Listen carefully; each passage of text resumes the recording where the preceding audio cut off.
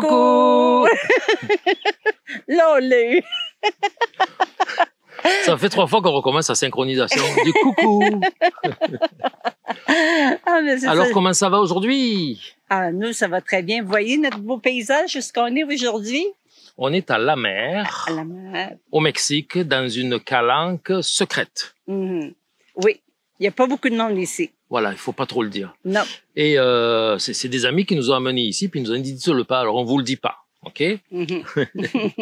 Mais non, c'est ça, on profite un petit peu du, du beau temps. Euh, de là. Et puis alors, je viens juste de finir un, un tableau. Euh, J'ai fait un tournage, une vidéo pour une future vidéo pour vous, pour YouTube, pour le mercredi. Ça sera au mois de mai, peut-être, je sais pas, le 4, c'était 4, Non, le- 11, le 16, 4, C'est la 11, mienne. 18.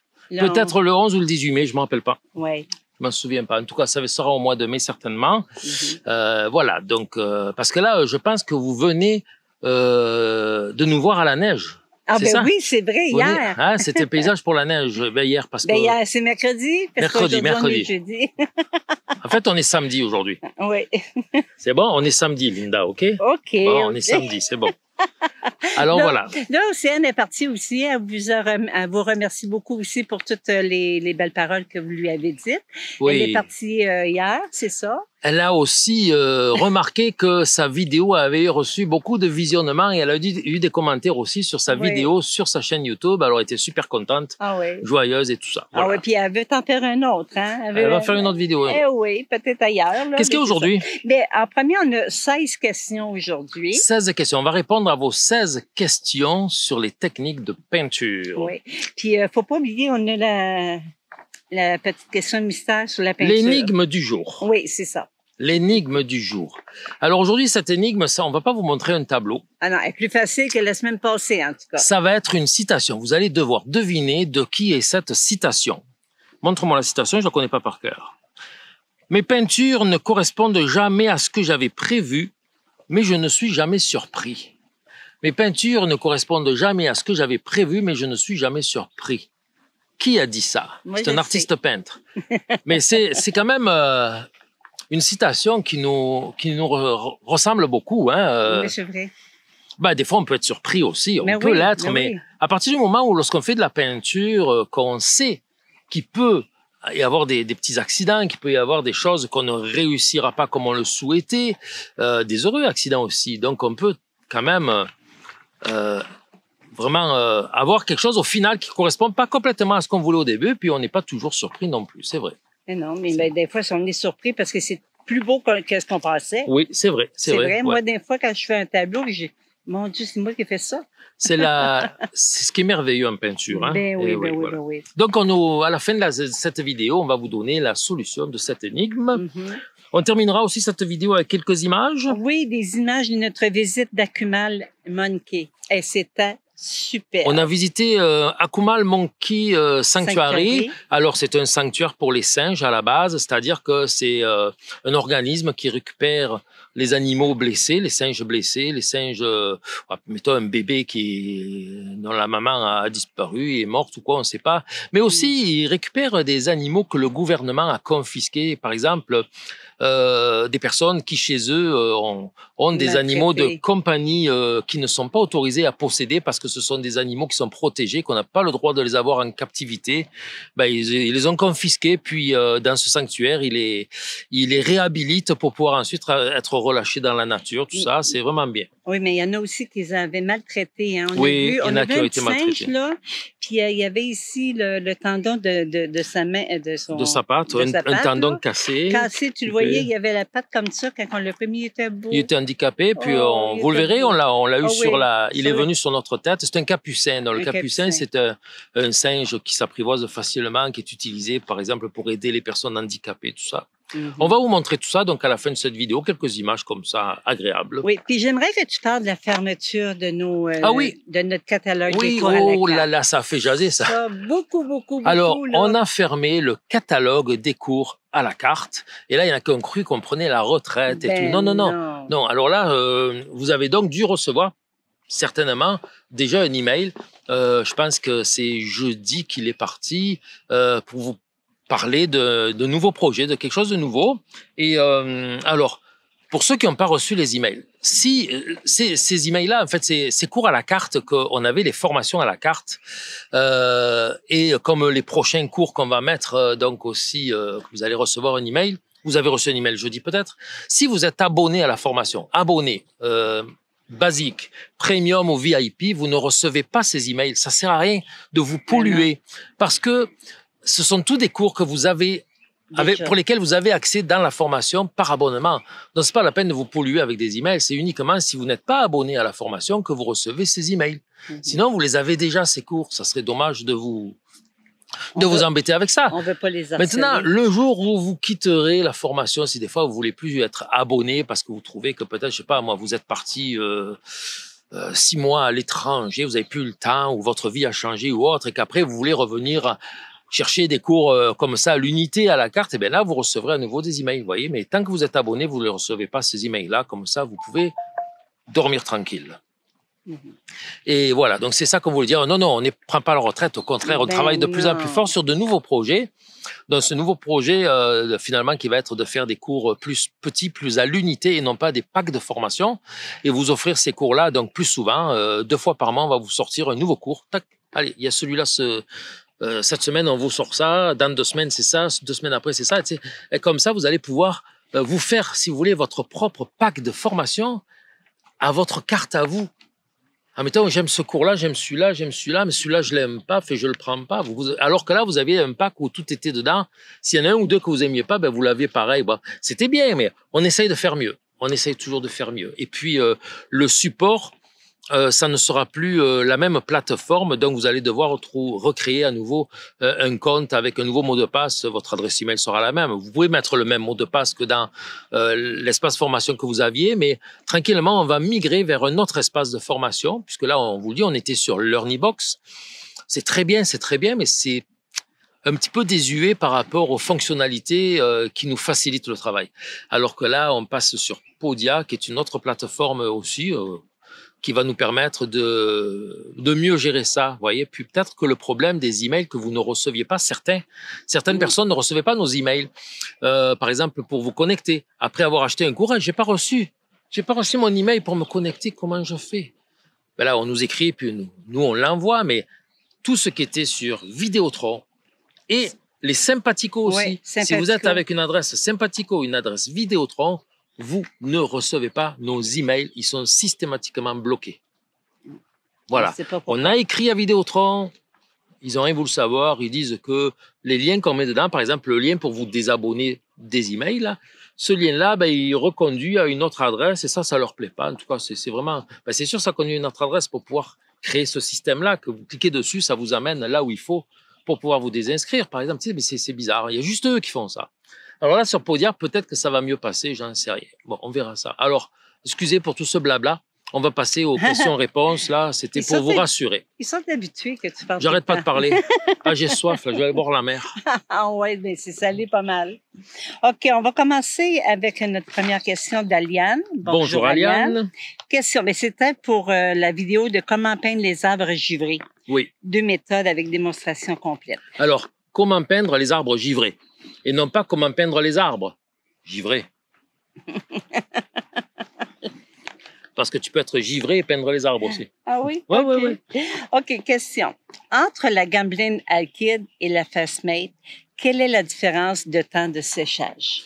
Entre la gambline euh, alkyd et la phasmate. Alors, la gambline euh, n'est pas alkyd, elle est alcali. La gambline alcali et la gambline alkyd, c'est la phasmate. C'est la phasmate. La- elle est phasmate parce qu'il y a de l'alkyd à l'intérieur. Elle sèche très vite. Euh, pour moi, personnellement, j'ai trouvé qu'elle séchait trop vite. Aujourd'hui, j'ai peint ici dehors. Il fait chaud, il y a un petit peu de vent, ça sèche su- super bien. De la gambline. Normal.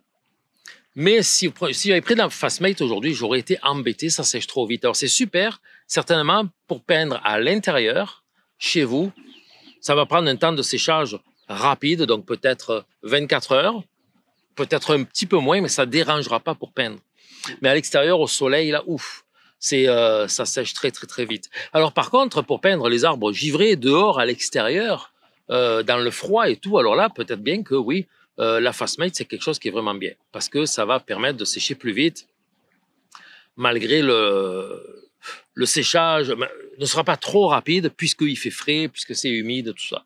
Alors, vous voyez, le choix de matériel, le choix de peinture va dépendre beaucoup euh, de la météo, du temps qu'il fait. C'est pareil à l'intérieur. On peut avoir un intérieur plus humide, plus frais, un intérieur plus sec et plus chaud. Hein. C'est la même chose. Donc, on prend ce qui est le mieux pour euh, ce qu'on a à faire. Mais voilà. Donc, je dirais que la peinture Fastmate, pour euh, en résumé, va peut-être sécher, je dirais peut-être au moins, trois fois plus vite que la peinture Gamblin Alcali.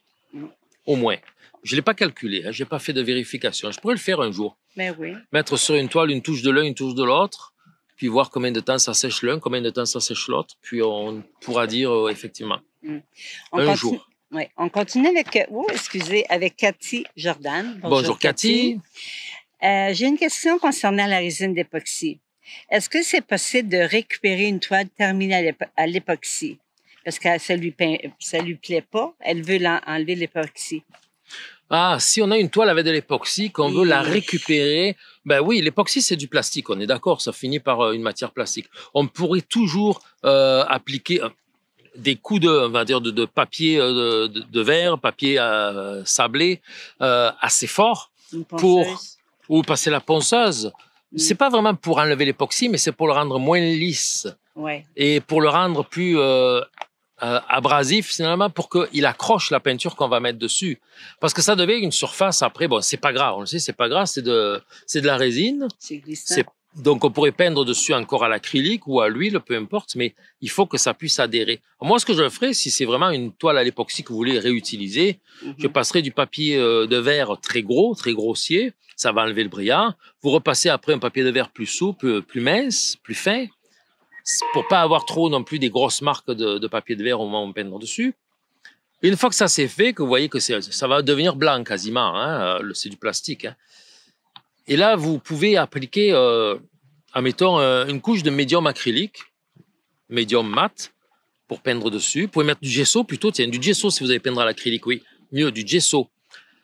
Si vous allez peindre à l'huile ou à l'acrylique, moi je mettrai du gesso, puis après je pourrai repeindre dessus. Oui, il n'y a pas de problème. Je suis certain que ça va fonctionner. Ça vous fera, par contre, un support beaucoup plus rigide. Si c'est une toile, elle va devenir euh, assez, assez ferme. hein. Ouais. Euh, on continue avec un autre Cathy. Bonjour Cathy. Bonjour Cathy. Euh, super, on parle toujours de la, comment peindre des arbres givrés. Vais, oui. Je vais pratiquer tout de suite quand je suis en montagne, à Davos. Davos, oui. À Davos, excusez, où vivait le peintre Kirchner. Kirchner. OK. Il peignait les montagnes incroyablement colorées en rose, bleu et vert. Il me faudrait la technique pour peindre ces sapins très élancés, très hauts, sous la neige. Pourriez-vous nous donner la technique pour les réaliser? Ben, j'ai, alors, je connaissais pas trop Kirchner, là, Kirchner? Je suis allé le voir, euh, je suis allé voir Kirchner. Kirchner, oui. Je suis allé voir euh, donc sur euh, sur internet, euh, sur Google, c'est les images de ces peintures. J'ai vu ces sapins effectivement. Ben, ce sont des, n'empêche des, des coups de pinceau quand même assez grossiers, assez euh, euh, expressifs. C'est de la peinture expressive, très colorée effectivement, mais on voit à, à la base effectivement que on- je pense que des grosses parties de, son, de ces tableaux sont très foncés avant qu'ils viennent avec les couleurs vives dessus. Mm. Les sapins, ils sont quasiment noirs. Alors, c'est des verts foncés, des bleus foncés, très, très foncés, presque noirs, sur lesquels il revient après avec sa touche de couleur très vive. Et euh, ces couleurs-là, il ne les mélange pas, elles sont superposées, euh, et on voit très bien une couleur sur l'autre, mais en laissant transparaître l'autre par endroits, par morceaux, et non pas par transparence. Vous voyez, c'est il y a des endroits où il manque la peinture vive colorée claire, et on voit la foncée à cet endroit-là. Donc, ça crée une texture, en fait. C'est pas de la transparence, c'est vraiment une texture. Et ça donne forcément des contrastes très forts, donc des effets de couleur très forts. Ça, ça active encore plus la couleur, le fait d'avoir des foncés comme ça. Et j'ai vu des taches foncées comme ça, pas que sous les sapins, un peu sous les montagnes, sous les, tous les éléments du paysage sont un petit peu comme ça aussi. C'est une technique, euh, ça fait penser à certains peintres aussi de, qui peignent le, des paysages du Charlevoix au Québec comme ça, avec un petit peu des couleurs très vives comme ça, puis des, des fonds foncés aussi. Mhm. Puis elle est sûre que tu commencerais par une couleur très foncée. Oui, c'est ça, exactement, ouais. OK, on continue avec Aïcha Boug... Excusez, Bourkeb. Excusez. Ou Bourkaïb ou Bourkeb, je sais pas. Bourkaïb. En tout cas, bonjour, Alicia. Bonjour, je voulais savoir comment vous faites les lacs, ou bien les mers brillants et qui brillent. Ah. Comment tu fais ça? Ben là, ça donne bien, hein? Alors, ce qui brille, C'est moi. Oui, moi aussi des fois, quand je transpire, Au moins, c'est lui, dit mais des fois. hein? tout ce qui brille n'est pas d'or. Euh, pour représenter la brillance, d'abord, c'est souvent les, les contrastes assez forts. Par exemple, les petits points euh, blancs euh, sur la mer, sur l'eau d'un lac, avec les petites vagues, le soleil en face, tout ça. ce qui rend cette particularité, c'est justement le contraste de ces points brillants et les autres parties de l'eau qui est très foncée. Là, on parle, mettons, d'une d'une mer ou d'un lac qui, on va dire, agité, avec des petites vagues et un soleil en contre-jour, par exemple.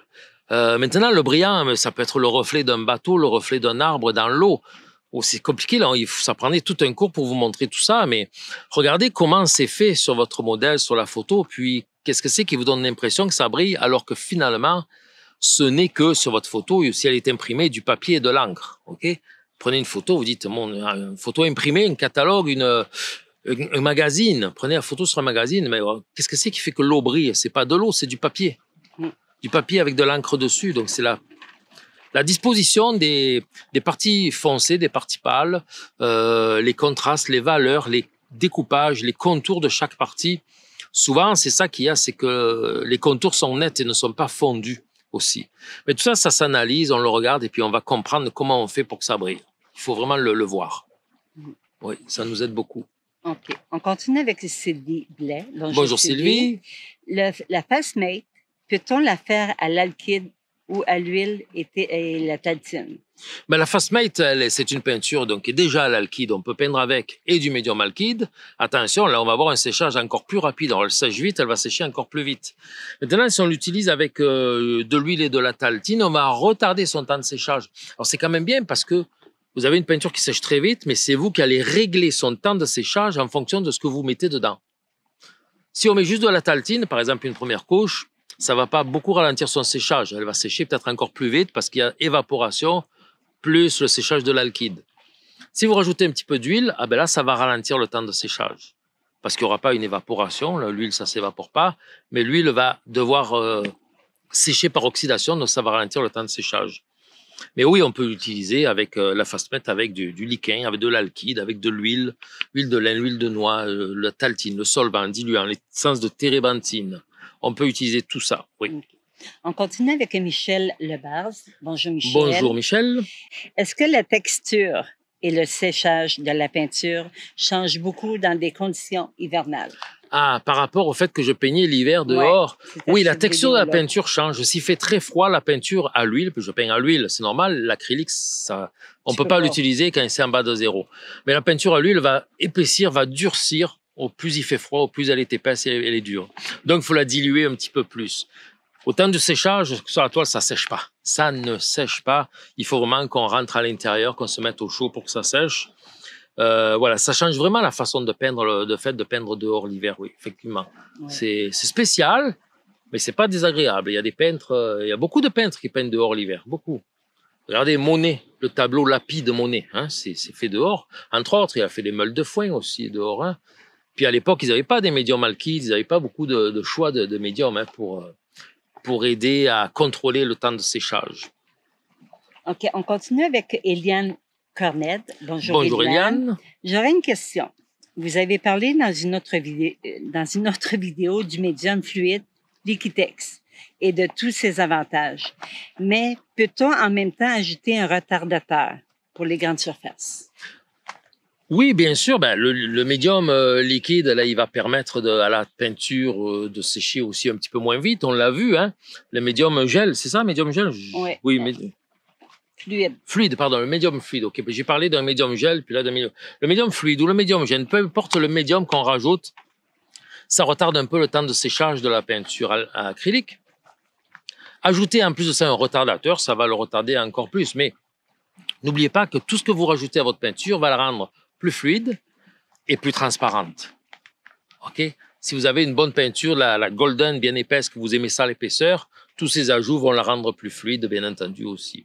Alors, et par contre, ça peut très bien ne pas déranger si vous aimez ça. Mais n'oubliez pas, c'est une grande surface. hein. Oui, grande surface, oui, effectivement. Oui, c'est mieux d'avoir du, euh, du retardateur de séchage. C'est bien aussi de pulvériser un petit peu d'eau sur la toile pour la qu'elle soit pas trop sèche au moment où vous commencez à peindre. Et là, vous allez pouvoir faire vos, vos grandes surfaces de dégradé plus facilement. Effectivement. Puis utiliser aussi beaucoup de peinture. Beaucoup, beaucoup. On continue avec Isabelle. Bonjour, Bonjour Isabelle. Euh, elle dit bonjour René Linda. Quel plaisir de vous retrouver chaque samedi et de retrouver vos conseils, mais surtout le soleil dans vos cœurs qui nous remplit à notre tour de joie et d'amour. Ah, Euh, c'est très, très beau, c'est très gentil. Profitez bien de votre petite fille. On a bien Oui, profité on a bien profité. Elle demande. Oui. Avez-vous prévu de venir en France cette année? Et vos stages sont-ils ouverts pour tous les débutants, euh, pour les débutants compris? Parce qu'elle elle est débutante depuis janvier. C'est ça la question? Ouais. Ben oui, on a prévu de venir en France, euh, mais ça d'août. sera pas l'été. On n'aura pas euh, suffisamment de temps pour faire des stages puisque on va commencer euh, vraiment à faire notre tour euh, à partir de la mi-septembre et on va se retrouver pas mal à, finalement à la saison des pluies puisqu'on a prévu d'aller pas mal plus dans le nord, on sera plus dans le sud. On n'aura pas vraiment le temps de faire des stages cette année. Mais on va peut-être aller visiter du monde, Ah des oui, gens, ça, plusieurs personnes que nous connaissons de par la chaîne YouTube, les formations, tout ça. Et ceux qui Euh, on va aller, donc, les voir aussi. On va se retrouver. Bon, c'est sûr, on va aller faire un petit peu euh, un tour à Giverny. Ça, il faut que je voie Giverny. Je l'ai jamais vu de ma vie encore. Euh, Rouen, la Belgique, l'Alsace, la Suisse, et après on s'en va. On rentrera dans le sud, un petit peu bien sûr visiter la famille aussi. On est obligé, sinon on va se faire gronder. Excusez encore. Oui. Bon. Euh, on continue avec Orphée. Bonjour. Bonjour, Orphée. Excusez. Merci à vous deux pour ce rendez-vous du samedi. Merci aussi pour la découverte de Patricia Staub. C'est vrai qu'on avait montré Oui, la oui, semaine oui. passée.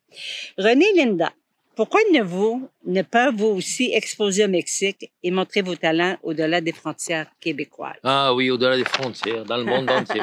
Pourquoi pas Mais alors regardez, justement, alors je vais en profiter pour répondre à une question qu'on nous avait posée il y a plusieurs semaines en arrière, lorsque j'avais montré un petit peu le, le studio euh, qu'on a monté euh, ici dans notre condo au Mexique pour faire de la peinture. Mm. Les gens, il y en a qui ont dit, mais comment vous avez fait pour transporter tout ça? Il y a tant de matériel et tout. Alors oui, je me le demande aussi. Comment est-ce qu'on a fait pour emporter tout ça? Je ne le sais pas. Bien organisé, bien serré, bien compacté euh, dans les valises. On a quatre grosses valises lorsqu'on voyage. Alors le matériel de peinture, le matériel vidéo, ça prend beaucoup d'espace. On a un petit peu de matériel qu'on laisse ici chez des amis au Mexique aussi. Ça nous aide énormément. Alors imaginez, euh, il faudrait, ça, serait quoi comme euh, pour apporter tous mes tableaux, toutes mes toiles ou une partie, une production euh, ailleurs comme ça dans le monde, c'est difficile. Et puis euh, il y a très longtemps, il y a très longtemps, euh, en 2003 je pense, j'avais apporté des tableaux euh, que j'avais peints au Québec. Je les avais apportés euh, pour les laisser chez ma mère en France. Eh bien, euh, ces tableaux-là, vu que c'était gros, tout ça, je les avais emballés, j'avais fait une grosse boîte, j'ai même mis mon chevalet pour pouvoir les peindre euh, chez ma mère, tout ça. Bon, pour une histoire courte, j'avais un gros paquet. Et là, rendu à l'aéroport, bien sûr, c'était euh, c'était assez impressionnant comme emballage. Ça a été bloqué. Effectivement, les douanes ont bloqué ça. Et les peintures, une peinture peut pas sortir d'un pays comme ça. Et si, si c'est un Renoir, si c'est un, hein, un tableau de maître, il faut pas. C'est du patrimoine qui doit rester là. Donc, euh, il a fallu qu'ils ont certainement ouvert tous mes paquets, toutes les toiles. Ils ont regardé ce qui a peint ça. Quand ils ont vu c'est René ils ont dit, oh, pff, c'est bon, il n'y a pas de problème, on peut laisser sortir ça, ça, ça vaut rien, tu sais. Ben voyons donc. Mais en tout cas, j'ai reçu, j'ai reçu mon paquet, là, mon, mon gros paquet des, des toiles et mon chevalet, tout ça, euh, je pense deux, trois jours avant de retourner au Québec. Ah oui. Oui, oui, oui, oui. Ça avait mis beaucoup de temps. Donc, euh, c'est compliqué. Alors, ça prendrait euh, toute une organisation, euh, faire la déclaration aux douanes, comme quoi ça s'en va. Mais attention, il faut que ça revienne aussi. Sinon, ça a été vendu. Il y aura peut-être quelque chose à payer. J'en sais rien. C'est très compliqué. Hein. Alors, il vaut mieux, à la mi- limite, je dirais, euh, exposer euh, sur Internet. Et puis, quelqu'un qui veut acheter une toile qui habite très loin, ben, on va lui expédier. Il y aura juste une toile. Ce ne sera pas tout Mais un de toute paquet. façon, on, on est supposé là, de mettre. Oui, on va, on s'occupe de ça. On oui, s'occupe on de vous ça. montrera euh, ça à un moment donné. On vous donnera un lien pour aller voir mes tableaux sur le nouveau site internet qui est encore en cours de construction. On continue avec Farouk. Bonjour, Bonjour Farouk. Bonjour, monsieur, madame. Je veux appliquer un glacis ayant, ayant le médium liquin original sur une toile qui n'a pas fini son cycle complet de séchage. Je me dis que ce médium, liquin original, devrait avoir les mêmes caracté- Car, mon Dieu, je me déparle aujourd'hui. Elle est Carac- fatiguée. Ah oui, je suis fatiguée. Mais c'est le soleil, hein? Ça, ça Ah oui. fatigue. hein. Ah. Les mêmes caractéristiques que le vernis à retoucher afin de laisser passer l'oxygène et ne pas empêcher la toile de sécher et causer des problèmes ultérieurs de craquement. Question. Devrais-je me soucier du principe grâce sur main quand j'applique un glacis sans diluant contenant seulement du médium liquin original? Moi, je vous dirais, euh, le liquin, c'est de l'alkyd, ça sèche très vite, on le sait. Donc, tout ce que vous avez en dessous qui a été peint avec la méthode traditionnelle, l'huile de lin et solvant, moi, j'attendrai que ce soit bien, bien sec avant d'appliquer de l'alkyd dessus, c'est-à-dire j'attendrai six mois. Un peu comme si euh, l'alkyd, oui, le, le liquin, le liquin qui est de l'alkyd. Un peu comme si le liquin, ça allait être un vernis, parce que moi, personnellement, je n'ai pas la certitude que le liquin va laisser passer l'oxygène pour continuer l'ox- l'oxydation des couches inférieures. J'en ai pas la certitude. À moins que vous, vous co- vous contactiez un spécialiste euh, ben, euh, de Windsor et Newton hein, qui vous dira oui, oui, tu peux le faire, il n'y a pas de problème, ça va sécher. C'est correct, mais sans avoir cette euh, confirmation-là, prendrai pas le risque. J'attendrai au moins six mois que ma peinture euh, peinte avec le, médium traditionnel à peindre, euh, l'huile de lin et diluant à peinture mélangée, ce soit sec depuis six mois. Et puis là, je vais pouvoir appliquer mon alkyd. Je sais que ça sera assez sec en dessous. Mon liquin. Vous voyez, voilà, je ne prendrai pas de risque parce que. Est-ce que vous, vous savez si le liquin va laisser passer l'oxygène pour la. euh, on va dire pour que la peinture en dessous continue à s'oxyder, on ne sait pas. Puis on ne sait pas ce qui pourrait se produire par la suite. hein. Euh, le liquin, euh, une fois sec, dans 10 ans, 20 ans, on le sait peut-être. Ça fait longtemps que ça existe, mais dans 50 ans, on le sait peut-être pas. Dans 100 ans, on ne sait pas non plus. Il n'a pas 100 ans, le liquin. Hein. Qu'est-ce que ça va faire, ça? Nous le verrons euh, Dans 100 ans. dans 100 ans. si on est encore là. Hein? On continue avec euh, Micheline Michoud-Robert. Bonjour, Micheline. J'ai commencé le paysage marin dans la tempête. Première couche, la toile est, sèche. Mais j'ai remarqué des lignes de pinceau sur ma toile. Excusez. Comment je peux les faire disparaître? Avec un léger sablage ou simplement avec la deuxième couche, ça va paraître moins? Euh, ben, qu- quand on a des coups, des touches de pinceau qui apparaissent, ça peut être des épaisseurs, comme Non, ça peut être des. dit, pourtant, je n'ai pas mis Oui, de- épais de peinture. Bon, mais ça paraît parce qu'il y a des différences de brillance. Ça paraît parce que ben, même c'est pas épais. Des fois, le, le poil se voit aussi. Euh, ça se voit selon comment vous exposez le, le tableau à la brillance, tout ça. Non, ne mettez pas de, de sablage, ne poncez pas, ne sablez pas. Ce qu'il faut savoir, c'est que quand vous allez peindre par-dessus, vous allez recouvrir pour les autres couches. Ces, ces touches de pinceau, elles vont disparaître, mais vous allez en avoir d'autres à la place de celles-là. C'est normal, on fait de la peinture. Si on fait de la peinture, il y a des coups de pinceau Ben oui. à moins que vous peigniez avec un rouleau. Mais il y aura toujours des touches de pinceau, c'est normal. Alors, ces touches de pinceau, c'est oui, un peu l'épaisseur de peinture, un petit peu, euh, la marque des poils, euh, la, les différences de brillance par rapport aux pigments. Les différents pigments brillent pas pareil. Le médium que vous mélangez dans la peinture, c'est jamais les mêmes quantités, ça brille pas pareil. Tout ça, ça fait des traces. La meilleure façon pour que ces traces ne se voient pas, ben, c'est d'en faire plus, plus, plus, plus. Ça devient comme une, une touche. Et euh, jamais dans le même sens. Si vous faites un ciel comme ça, vous allez avoir des coups de pinceau horizontaux qui vont se voir. Si vous allez avec des touches en forme de X, on les verra moins. Ça va être plus mêlé. Il faut que ce soit modulé. Si vous faites une couleur très uniforme, les touches de pinceau vont se voir plus. Si vous faites de- des touches de différentes taches de couleurs pour moduler, les touches de pinceau se verront moins.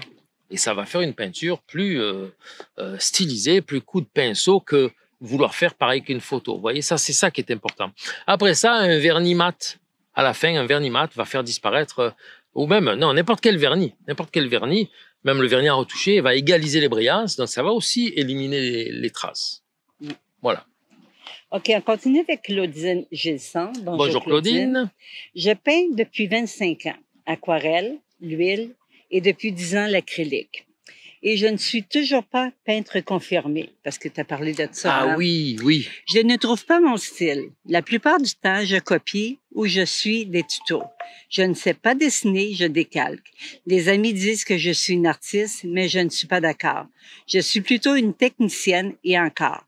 Pour l'instant, je suis découragée. J'aime la peinture, alors que me conseillez-vous? Je vous remercie pour les conseils que vous me donnez et pour vos vidéos que j'ai toutes visionnées. Une homme en peine. Ah oui, oh, c'est triste ça. ben non, Claudine. Non, non, non, vous inquiétez pas. Ben oui. Euh, non, non, oui, oui. Ben, c'est, c'est- ça prouve vraiment, c'est, c'est- ça, on va dire que ça confirme un petit peu ce que j'ai dit la semaine passée sur euh, les peintres confirmés. Qui est un peintre confirmé? Mm. Alors vous, selon vous, vous n'êtes pas une peintre confirmée parce que vous avez ces difficultés-là, parce que vous êtes dans cette situation-là, mais moi je vous dirais, c'est vous qui vous voyez comme ça. Une autre personne va vous voir peindre et va vous dire, oh mais t'es bonne, t'es, vous, êtes- euh, vous êtes certainement une peintre confirmée sans le savoir aussi, pourquoi Mhm. pas? Euh, L'important, toujours, toujours, toujours en peinture, c'est de vous amuser. Et pour s'amuser, il faut pas se mettre des objectifs euh, trop hauts, trop inatteignables. Un objectif inatteignable, qu'est-ce que c'est? Oui, vous allez me dire, bon, c'est un immense tableau avec plein de détails. Oui, ok. Mais pour certaines personnes, cet immense tableau plein de détails, il va vous faire ça très vite. Et ça aura été un objectif atteignable. Pour vous, un objectif inatteignable, c'est peut-être un petit tableau.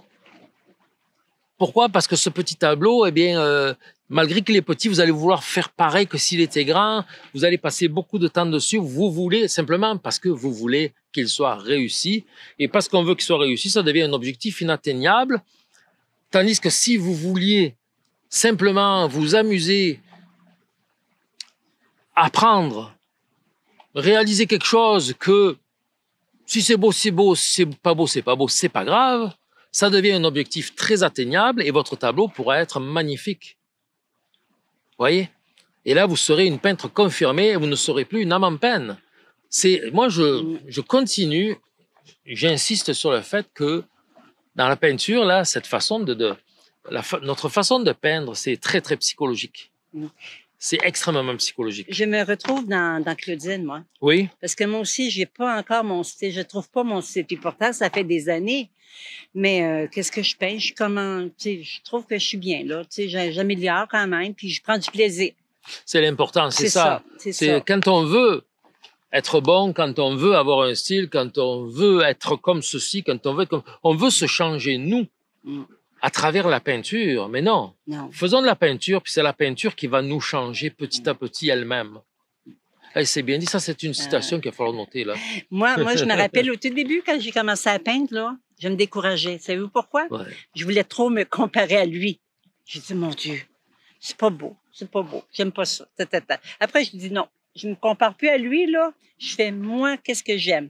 Parce que lui, qu'est-ce qu'il aime? C'est ça, les natures, l'extérieur, puis tout ça, les fleurs. Non, moi, je fais qu'est-ce que j'aime? Comme je fais les portraits, je fais les animaux, euh, je fais des choses plus réalistes. Oui. C'est ça. Je- je- Il faut se satisfaire des petites choses en peinture, mais Mm. surtout, surtout s'en féliciter. Oui, c'est ça. Se féliciter. Ben oui. Regardez, félicitez-vous de chaque petite euh, euh, victoire quand vous faites un tableau. Et chaque petite euh, erreur, chaque petite euh, déception, ne soyez pas déçus. Dites-vous à chaque fois que c'est grâce à ça que vous apprenez. C'est ça. Puis elle, elle dit que ses amis disent que c'est une artiste. Mais oui, Fait qu'eux autres sont, sont c'est l'œil du public, hein? Fait qu'eux autres, ils voient qu'est-ce que vous faites, puis ils trouvent ça beau, mais absolument. absolument. Ouais, ouais. J'aimerais ça euh, voir, euh, Claudine, une, une de, un de ses tableaux. Oui, Envoyez-nous ça à notre adresse, hein? voilà. Un jour, on va faire une vidéo, on va vous montrer que les tableaux, uniquement des tableaux dont vous n'êtes pas satisfait. Ah oui. Ça pourrait être euh, drôle, hein? Il y en a qui vont dire, ouais, pourquoi tu n'es pas satisfait? Moi, je trouve super bien. hein, ben oui. Eh oui. Fait qu'on continue avec Janine Collard. Bonjour, Bonjour, Janine. Euh, beau bouquet sorti au t-shirt. de- Ah oui, c'est vrai, il y avait un bouquet avec mon t-shirt. Oui, la oui, oui, la semaine Ah, passée, oui. Les peintres qui sont. J'ai pas compris la question. Hein. Les peintres qui sont à côté, ils sont inscrits dans la Qui cour- sont cotés. Les peintres qui sont cotés, Ah, qui sont cotés. ils ont une cote. OK, pas cotés. Cotés, OK, oui. cotés. Ils sont inscrits dans la cour. Akun, oui. Quel parcours suivent-ils? Simple, simple curiosité de sa part. Alors, euh, Akun, pas Akuna Matata. C'est ça que j'allais dire. Hakuna Matata. c'est quoi la chanson? Oui, non, mais Non? m'en rappelle pas. pas? Non, non. On la fera après, OK? Elle a toute fin. Alors, la, euh, Akun, et, et il y a aussi le, le Drouot cotation. Drouot cotation et Akun, euh, si vous voulez, ce sont des répertoires d'artistes peintres, pas peintres, peintres. Ça y est, elle est partie. fait deux fois aujourd'hui qu'il fait, qu'il dit ça. On a dit des, lapsus. Ah oui. Alors, donc, ce sont des, des, euh, comme des dictionnaires dans lesquels, ou des, des répertoires dans lesquels il y a tous les artistes peintres et qui sont cotés. Alors, on dit, bon, ben, cet artiste-là, il vend ses toiles de tel format, tel format, tel format, tel prix, tel prix, tel prix. Cet artiste-là, euh, voilà son, son CV artistique, son passé, ses études, ceci, cela. On voit des tableaux, on voit. Ce sont des, répertoires. Il y a aussi le, le biennal magasinard, je ne sais pas s'il existe encore, au Québec. En France, c'est ça, le Larousse, hein, Larousse des. Si je me souviens bien, c'est ça Oui, en tout cas. Bon. Il y a bien des, des livres comme ça. Alors, honnêtement, la, la Kuhn, moi, j'ai jamais été dedans, mais j'ai été dans le Drouot cotation. Drouot cotation, le dictionnaire. Ben, pour cela, il suffit de payer. Eh oui. Oui, c'est comme une publicité. Il vous envoie même des emails si vous êtes artiste peintre dans des associations, qu'on trouve votre email quelque part en tant qu'artiste, vous annoncez quelque part, vous avez un site d'artiste ou autre, vous allez recevoir des invitations à, à participer à ces choses-là. Là. Donc, euh, le magasinard, Biennale Magasinard, c'est une fois euh, tous les deux ans, ils sortent un gros livre. là. Il faut payer pour être là-dedans. Euh, droit aux cotations, il faut payer pour être là-dedans. Les artistes peintres, malheureusement, sont beaucoup euh, sollicités Ah ouais. par toutes sortes de, de supports, d'organismes, de, de, qui n'est finalement que de la publicité cachée pour euh, vous donner, si vous êtes artiste peintre, l'espoir de vendre des tableaux. Et dans l'espoir de vendre de vos tableaux, ben, vous allez vous inscrire là, vous allez vous inscrire là. À chaque fois, on paye, on paye, on paye. Et on doit payer pour montrer nos choses, pour avoir l'espoir d'en vendre. Ah ouais. Euh, dans les expositions, les symposiums, euh, vous exposez vos tableaux. Euh, il faut payer pour participer la plupart du temps pour exposer vos tableaux parce que le- vous risquez de vendre. Si vous vendez, vous faites un bénéfice. Et là, oh mon Dieu, bon, hein, il faut bien qu'on donne notre part à l'organisme. Euh, si vous faites euh, dans un symposium, à un endroit où on vous dit, bon, ben, vous allez venir exposer là, comme je me rappelle à Château-Richer, il fallait absolument peindre devant le public. C'était obligatoire. Voilà. Si vous mettez ça euh, dans le sens d'un artiste euh, musical, l'artiste musical, le joueur de guitare, le pianiste, euh, joueur de saxophone, vous lui dites, Eh là, si tu veux vendre tes disques, il était obligé de venir jouer ta musique devant le monde. Je sais pas, moi, tu sais, c'est est-ce qu'on a demandé à un musicien d'aller jouer gratuitement quelque part? Viens jouer gratuitement, là, juste pour te faire connaître. Ah ouais, fais-toi connaître, c'est gratuit. Non, les artistes peintres, oui, mais les musiciens, non. Vous voyez Donc, l'artiste peintre, malheureusement, je trouve, là, euh, je parle des artistes amateurs, semi-professionnels, certains professionnels, sais, ceux qui sont pas vraiment déjà euh, en galerie ou qui sont pas, euh, on va dire, pris en charge par un agent d'artiste, hein, celui qui est pas vraiment déjà dans le marché, là, celui qui veut vendre, mais qui arrive pas. Ils sont vraiment mal pris, je dirais quasiment maltraités. Ah ouais, ouais, Ah ouais. Partout, ça, c'est mon, c'est mon point de vue personnel. Mais Hein. t'as raison. Mais c'est pas tout le temps, c'est pas vrai. hein. Il y, a, il y a eu, il y a des bons endroits, il y a des endroits où on fait exposer gratuitement et Mm. vous allez pouvoir vendre, ils prendront pas une cote, pourquoi pas, ça existe aussi. Mais je vous parle de la- ce que moi j'ai connu, ce que moi j'ai vu, Mm. et voilà, c'est vrai. C'est ça, ils voulaient eux autres se faire de, de l'argent à tes, à tes dépens à toi. Oui, c'est ça. Bon, c'est sûr, après, il y a des associations où c'est que des bénévoles qui organisent tout ça, puis tout est gratuit, où on paye juste une participation parce que il faut payer le local pour exposer. Ça, c'est normal, ça va bien, là, c'est correct. Mm. Mais moi, je parle, je, je pense à, à Fredericksburg, là-haut, au Québec, Fredericksburg, là, je me rappelle de ça, là. Ah, toute une histoire, hein. Mm.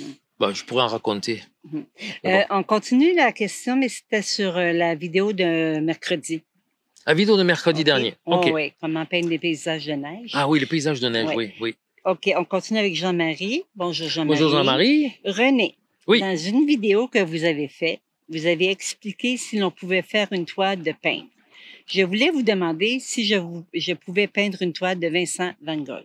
Oui, ça c'est au niveau des droits d'auteur, la- la- les reproductions de tableaux. Oui, vous pouvez. euh, Vincent Van Gogh, Van Gogh il est, Ça il est mort, ça euh, fait pas mal de temps. euh. Voilà, euh, faut regarder. Si vous allez voir sur Internet, vous dites bon, mais droits d'auteur, délai par pays, vous allez voir tout ça là.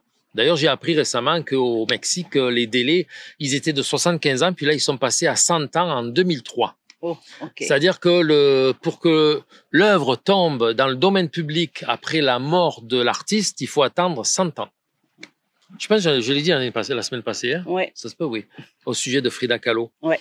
Et donc voilà, ben oui, Van Gogh, vous pouvez reproduire un tableau de Van Gogh, il n'y a pas de problème. Oui. oui. On continue avec Bayazia. Bonjour, Bonjour. Maya. Ma question, c'est de savoir si la neige reflète la lumière à la tombée de la nuit et comment les couleurs se fondent-elles? Oui, eh ben oui, la, la neige reflète la couleur du ciel le jour, reflète la couleur euh, du ciel la nuit, elle devient plus foncée, d'un gris foncé bleuté, mais surtout, surtout, elle va refléter les lumières ambiantes. Alors si vous avez la lune en face et elle va éclairer la neige, vous allez avoir les ombres qui viennent vers vous comme si la lune était un soleil. C'est très beau aussi, c'est très intéressant, les contrastes vont être forts. Si vous avez euh, une maison avec une lumière de fenêtre, ça va refléter sur la neige aussi, ça va éclairer la neige de cette couleur-là.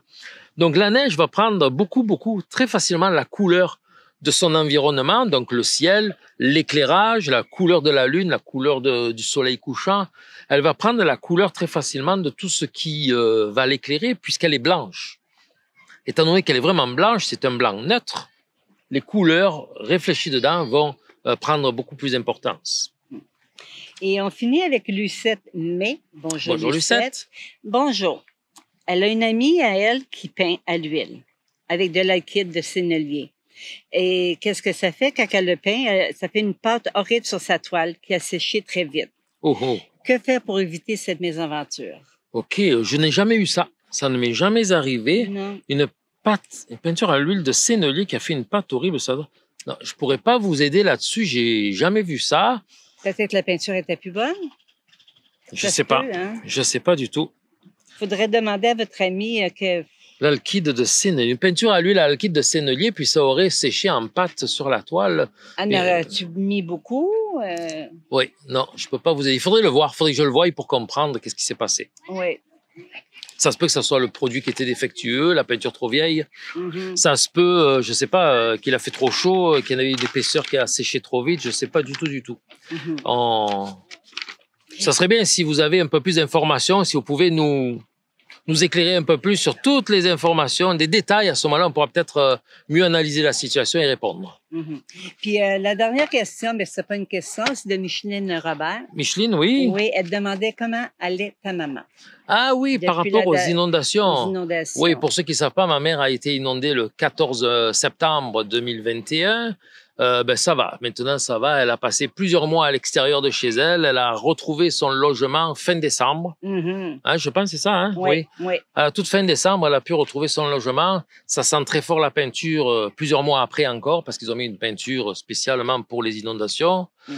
Euh, il faut qu'elle s'est remeublée, tout ça, mais Ah, c'est oui. pas Puis fini. Les assurances, euh, excusez-moi, là, mais en France, là. Euh, il lui manque euh, encore des choses. Ouais, c'est pas bon, là, chez vous en France. Ben oui, c'est vrai. Par rapport au Québec. Au Québec, là, euh, écoutez, en France, là, un exemple, vous avez, euh, vous avez ach- acheté un lit, je sais pas, 1000, 1000 Ben, euros. c'est parce que c'est simple. Regarde, le matelas, là, mettons, tu as payé ton matelas euh, 500 euros.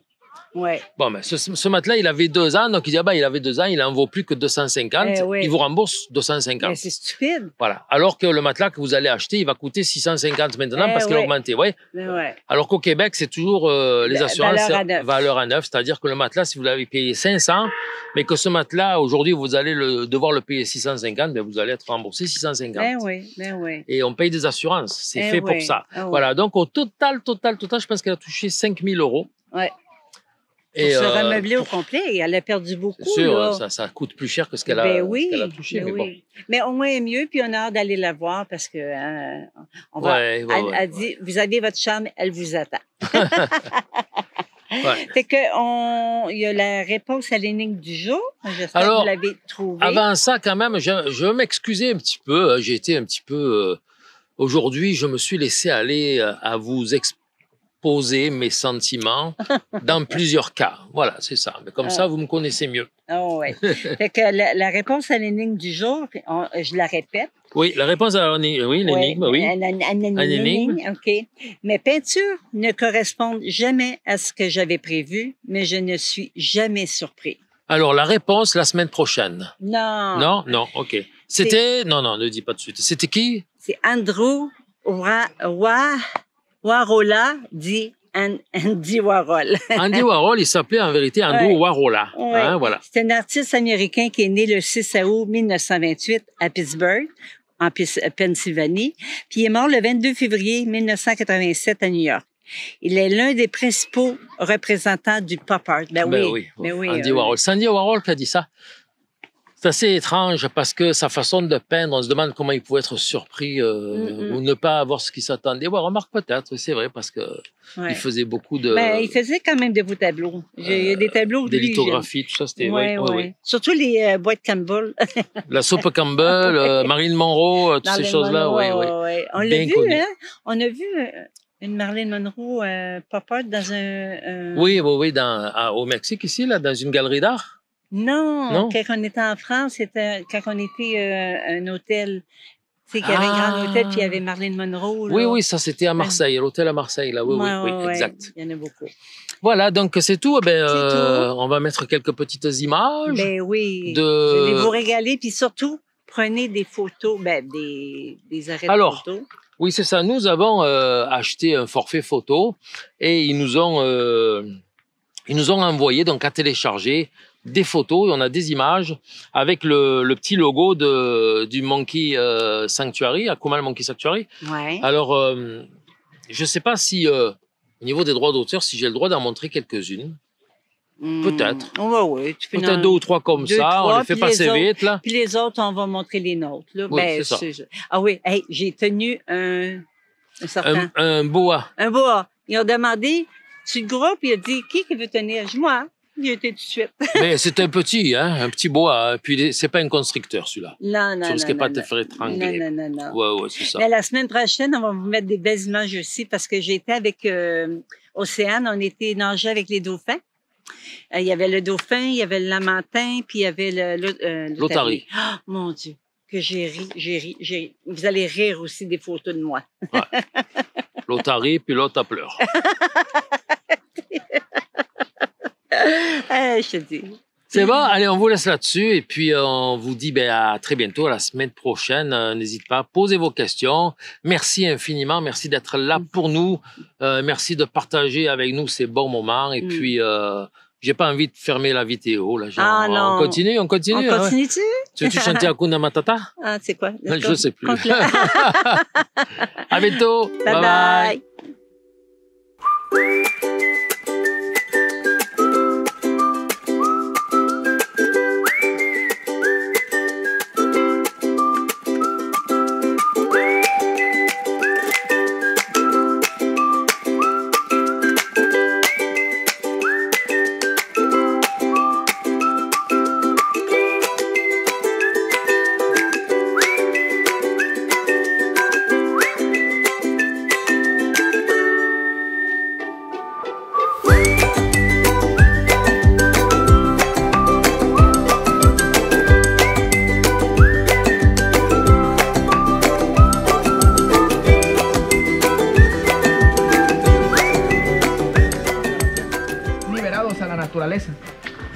Ellos son confiscados del gobierno a la trata ilegal de especies exóticas.